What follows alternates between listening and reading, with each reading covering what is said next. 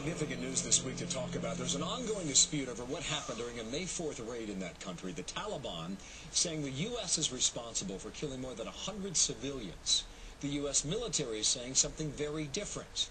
Here is what Secretary of State Hillary Clinton said about it two days after it happened, May 6th. I wish to express, uh, you know, my personal regret and certainly the sympathy of our administration on the loss of civilian life uh, in Afghanistan. Uh, we deeply regret it.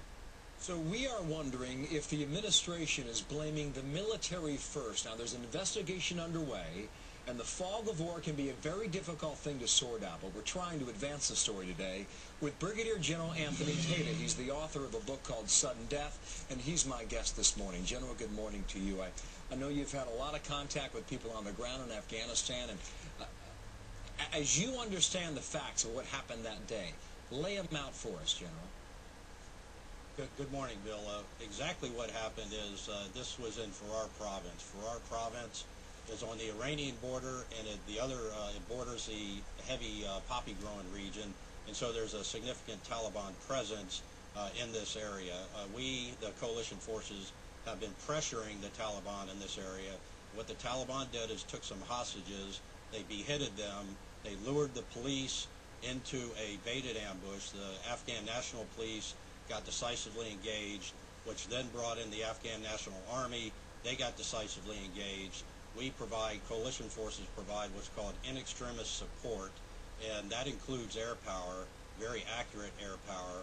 And so what happened is combat ensued, and the air power uh, destroyed portions of the Taliban, who then fled. But what happened on the ground there is that the Taliban uh, threw some hand grenades inside some buildings where they had hurted uh, civilians. And this is the investigation is not complete yet, but the initial indications are this is precisely what happened. And so, so the this way is a you, the Taliban. You, right, the way you lay it out, just so our viewers understand this, according to your accounts, this was an Afghan operation that only involved Afghans, Taliban on one side, the Afghan army on the other. They later called in for U.S. support from the air above. How do you know that the Taliban laid out grenades and beheaded people? What's the evidence on that, sir? Yeah, we, what uh, co coalition forces have a standard battle drill. Any time that there's an allegation of civilian casualties, there's a flyaway team that consists of Afghan, uh, FBI equivalent, and Afghan police forces, and U.S. and coalition military forces. And those forces go to the scene and conduct essentially a forensic investigation.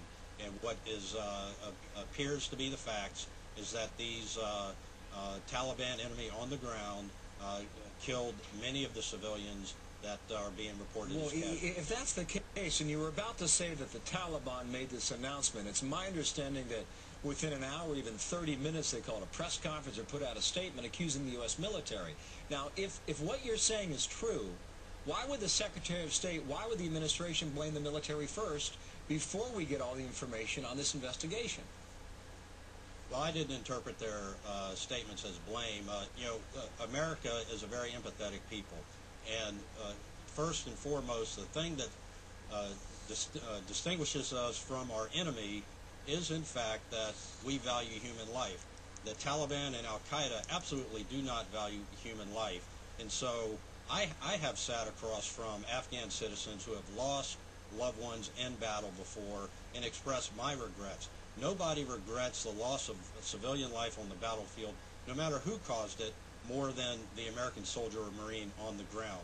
So it is a very natural uh, process for the loss of civilian life. understood. Now the investigation continues. We want to know in the end what it concludes, and uh, when it does, we'll bring it back on the air. Okay, Brigadier General Anthony Tata, my guest now, uh, author of the book Sudden Threat. Sir, thank you. Thank you, Bill. All right, Megan. Well